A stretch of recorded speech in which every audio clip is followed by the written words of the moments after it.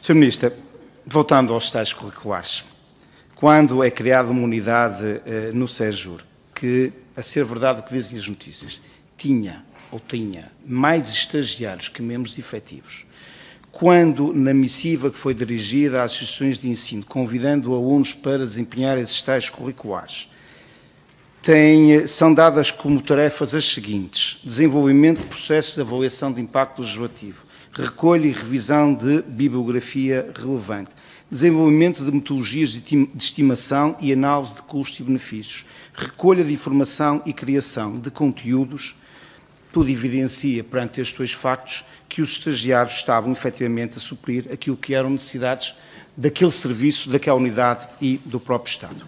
Quanto ao Simplex, quanto ao Simplex, eu sei que a deputada, eu sei que a deputada Hortense Martins só ouve o que quer. Eu comecei a minha intervenção dizendo que o PSD não desvaloriza, não menospreza o programa Simplex e todas as medidas têm a ver com a simplificação e a modernização da administração pública. Disse-o no início, fio no fim. Agora, não somos nós, Sra. Ministra, que estamos obcecados, não somos nós, repare bem, que estamos obcecados com a estatística e a taxa de discussão, é exatamente o Governo, ao ponto de dar como concluídas medidas que, Sra. Ministra, repetimos, efetivamente não estão concluídas. A expressão concluídas dizia a Secretária de Estado que esta expressão não era utilizada. Bom, eu faço aqui um desafio que vá consultar o site exatamente o Simplex e diz implementação concluída. É esta a expressão que lá está e por isso uh, utilizei. Deixo também uma sugestão, ser, ser Ministro, uma sugestão de que no saber mais, se fosse possível, eu julgo que isso é possível e é facilmente alcançável, haver uma descrição sumária e cronológica de facto de, dos passos de que a medida já teve ou, ou, e em que estado é que está, julgo que seria fácil de alcançar. É uma sugestão que deixo, não é nenhuma crítica. A senhora Ministra fez uma, utilizou uma expressão com a qual eu corroboro inteiramente. E permita-me traçar aqui, ou dar a conhecer aqui uma, uma história verdadeira.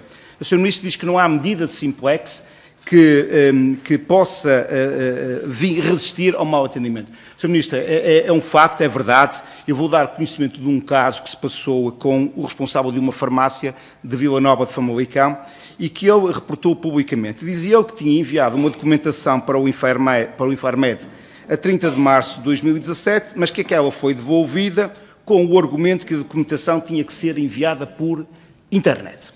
E ele assim fez enviou novamente a documentação, agora para a plataforma online, mas não obteve resposta.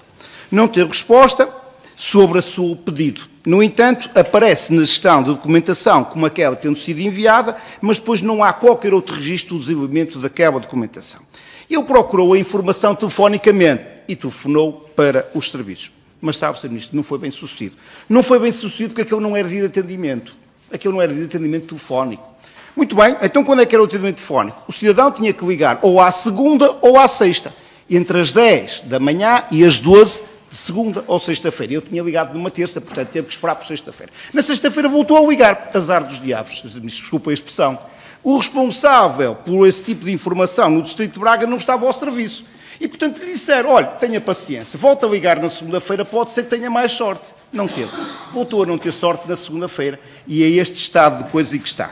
Sr. Ministra, relativamente e agora ao, dois, ao, ao Simpex, e peço desculpa dar reportar esta, esta, esta, este acontecimento e este relato que me foi feito, e eu julgo que será proveitoso, naturalmente, não é nenhuma crítica que estou a fazer, é apenas uma circunstância que a própria Sra. Ministra assume que isso se verifica.